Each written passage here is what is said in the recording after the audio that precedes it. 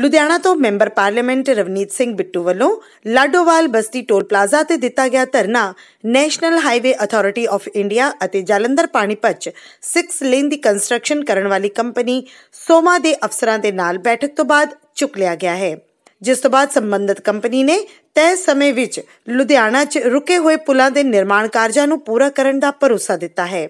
ਇਸ ਦੇ ਨਾਲ ਹੀ ਉਹਨਾਂ ਸਪਸ਼ਟ ਕੀਤਾ ਹੈ ਕਿ ਜੇਕਰ ਕੰਪਨੀ ਤੈਅ ਸਮੇਂ ਦੇ ਵਿੱਚ ਵਿੱਚ ਆਪਣਾ ਕੰਮ ਪੂਰਾ ਨਹੀਂ ਕਰੇਗੀ, ਤਾਂ ਅਥਾਰਟੀ ਸਾਰਾ ਕੰਮ ਆਪਣੇ ਹੱਥ 'ਚ ਲੈ ਲੇਗੀ इन्होंने जो आज कमिटमेंट किया है कि 30 जून तक ये प्रोजेक्ट कंप्लीट करेंगे। 316 वाला 311 312 का 31 जनवरी 2020 तक कंप्लीट करेंगे।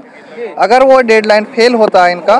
तो इसको जो बैलेंस काम है इसके लिए जो भी कॉन्ट्रैक्ट एग्रीमेंट के हिसाब से प्रोविज़न होगा कंपनी ऑथोरिटी डिसीज़न लेंगे और अकॉर्डिंगली वो डिसीज़न आगे फॉलो अप होगा। नहीं सर आपका स्टेटस क्या रहेगा? प्रोजेक्ट डायरेक्टर का अगर ये कंप्लीशन टाइम बाउंड पे नहीं होता तो फिर प्रोजेक्ट डायरेक्टर का स्टेटस क्या रहेगा? इनका प्रोजेक्ट आप कैंसिल भी कर सकते हैं। प्रोजेक्ट इनका कॉन्ट्रैक्ट एग्रीमेंट 2024 तक है 26 तक 2024 तक है और जो अगर ये प्रोजेक्ट कंप्लीट नहीं करते हैं तो जो भी इन बैलेंस जो बैलेंस काम रहेगा N H I separate stand काम करेगी ਸਾਫ਼-ਸਾਫ਼ ਜਿਹੜੀਆਂ ਇਹ ਇਹ ਤਰੀਕਾਂ ਦਿੱਤੀਆਂ ਏ ਤੇ ਇਸ ਵੇਲੇ ਸੋਮਾ ਵਾਲਿਆਂ ਨੇ ਵੀ ਤਰੀਕ ਦਿੱਤੀ ਆ ਤੇ ਨੈਸ਼ਨਲ ਹਾਈਵੇ ਵੀ ਸਾਫ਼ ਤੌਰ ਤੇ ਜਿੰਨਾ ਉਹ ਕਹਿ ਸਕਦੇ ਸੀ ਕਹਿ ਗਏ ਆ ਵੀ ਅਸੀਂ ਇਹਨਾਂ ਦਾ ਟੋਲ ਆ ਜਿਹੜਾ ਉਹ ਟੇਕ ਓਵਰ ਕਵਾਂਗੇ ਜੇ 30 ਜੂਨ ਨੂੰ ਇਹ ਕੰਮ ਨਹੀਂ ਜਿਹੜਾ ਖਤਮ ਕਰਦੇ ਜੋਧੇਵਾਲ ਬਸਤੀ ਵਾਲਾ 30 ਜੂਨ ਨੂੰ ਇਹਨਾਂ ਨੂੰ ਕੰਮ ਖਤਮ ਕਰਨਾ ਪਏਗਾ।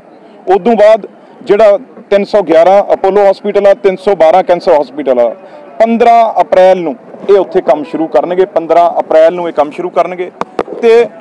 31 ਜਨਵਰੀ ਨੂੰ ਇਹ ਕੰਮ ਉੱਥੇ ਜਿਹੜਾ 2020 ਨੂੰ ਇਹ ਖਤਮ ਕਰਨਗੇ। ਇਹ ਅੱਜ ਤਿੰਨਾਂ ਦਾ ਇਹ ਭਰੋਸਾ ਦੇ ਕੇ ਗਏ ਨੇ ਤੇ ਜੇ ਇਹਨਾਂ ਦੀਆਂ ਕੋਈ ਵੀ ਡੇਟਸ ਤਬਦੀਲੀ ਆਉਂਦੀ ਆ, ਤਾਂ ਇਹ ਨੈਸ਼ਨਲ ਹਾਈਵੇ ਇਹਨਾਂ ਨੂੰ ਟੇਕ ਓਵਰ ਕਰੇਗੀ। ਨੈਸ਼ਨਲ ਹਾਈਵੇ ਆਪਣੇ ਹੱਥ 'ਚ ਕੰਟਰੋਲ 'ਚ ਜਿਹੜਾ ਇਹ ਇਹ ਸਾਰੇ ਸਾਰਾ ਪ੍ਰੋਜੈਕਟ ਲੈ ਲੇਗੀ ਬਿਊਰੋ ਰਿਪੋਰਟ, ਲੁਧਿਆਣਾ ਵਿਊ